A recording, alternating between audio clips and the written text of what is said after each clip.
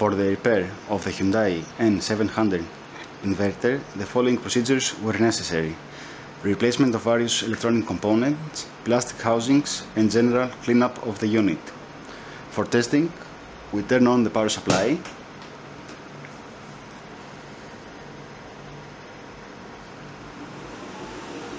and by manipulating the inverter's output, we control the motor speed.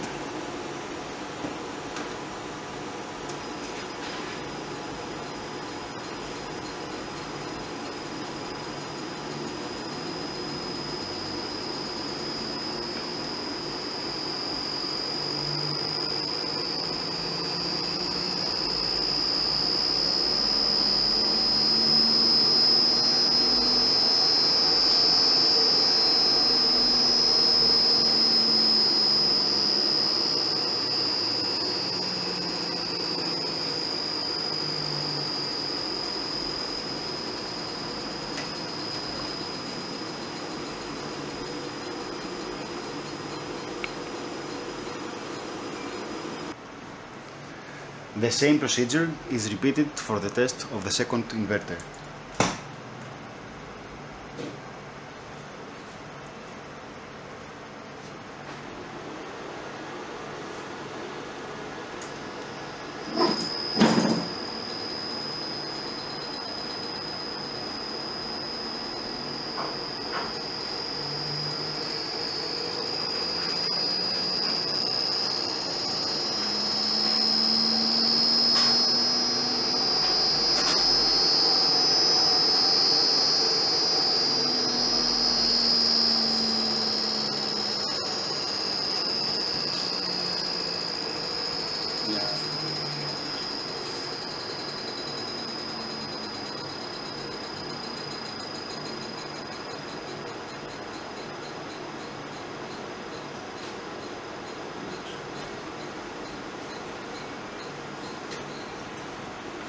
It is now clear that the unit is operating successfully and is ready to be delivered to the customer.